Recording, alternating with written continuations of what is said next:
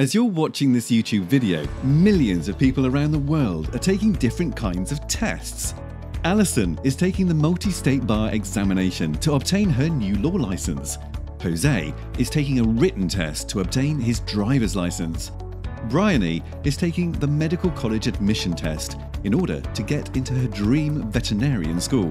Giselle is taking the Iowa tests of basic skills to understand her ability in different content areas, ranging from reading to mathematics.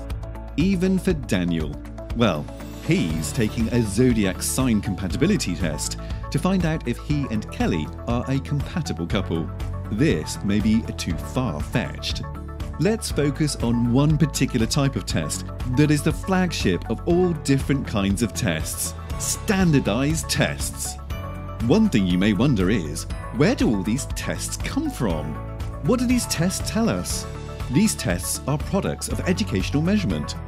In this video, we're going to answer the question what is educational measurement?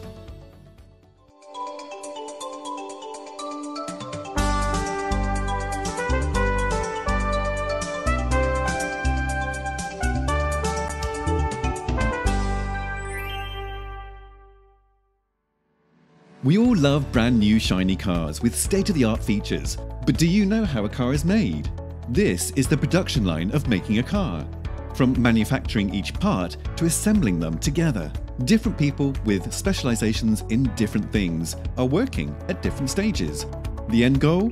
To provide a fantastic product to the consumers.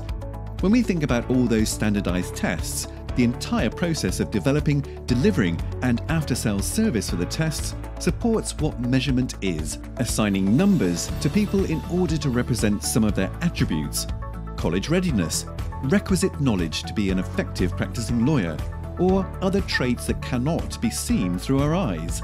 Those numbers are what we commonly call test scores. Just like you need different people specialized in different things to work together for making a fantastic car, when a test is developed, experts from different areas work together for the same purpose to make sure that the scores people receive on a test accurately reflect those unobservable characteristics. So, who are those experts? What do they exactly do? And how are the scores being produced? Let's take a look at what's happening in our measurement factory right now. We get a new order. The Little Bakery Association asks for our help to develop tests to measure kids' ability to make delicious cakes and breads. Let's prepare this order request from the starting point of our measurement production line. But first, how do you define baking ability?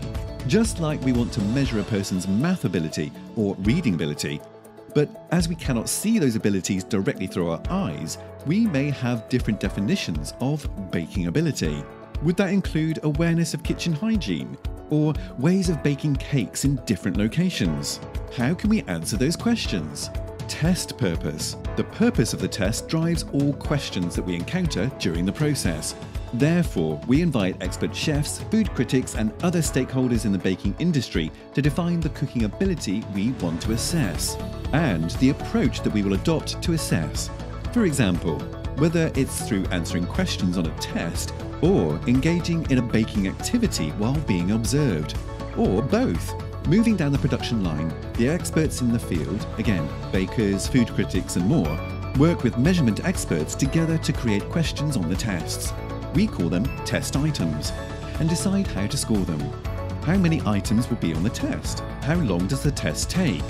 Does putting wasabi in a cake give you higher scores for creativity? Those people work really hard, around the clock, to produce a test that is delicious. I mean, desirable. Before the little chefs could eventually take the test, we need a test run to make sure that our test does what we wanted to do. We invited a group of little chefs to take the test. We asked them questions as they take the test to see if they understand the test items and what the test is asking them to do. Also, when measurement experts compute the scores for each little chef, they are also looking at the quality of each item and the whole test through some data analysis.